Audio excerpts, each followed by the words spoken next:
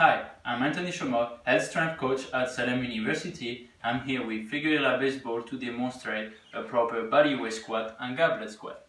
So for the body uh, weight squat, okay, all you guys gonna need is your body, okay? For the starting position, okay, we want keep your stance about shoulder width apart, okay? Find a stand that is comfortable for you, okay? With your toes slightly pointing out, okay? From here, knees soft, okay? Light hinge at the, at the hips, hand front of you, okay, for your balance. And from here, you're gonna try to sit back, okay, and go down, okay, keeping your knees up, reaching the 90 degrees, okay, uh, parallel line, and go back up, okay. You can see how my knee stay out the whole time. We don't wanna see any knee caving in, okay, on the way down, on the way up. This is a bad movement, okay. You're gonna hurt your knee over time by doing this, okay. Really make sure that you keep your knees out the entire time and stay flat on your heel, okay? At any movement, you want to see uh, your heel raising off the floor, okay? You don't want to squat on your knee, okay, and raising your heel.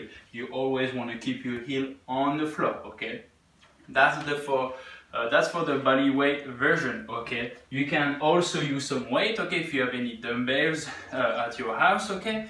Is going to be the same starting position. You're just going to have to hold the, the, the dumbbell with a goblet, okay, uh, position at the top, okay, with your palms, okay, and from here, exactly the same movement. You're going to go down, okay, keep your knees out, stay flat on your heel, keep your torso upright, okay, and go back up, okay. Do not let the weight like pull you forward, okay. You want to keep your chest upright, okay.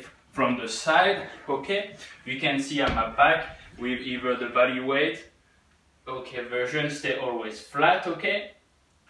Or with the goblet okay? My back is not changing any angle okay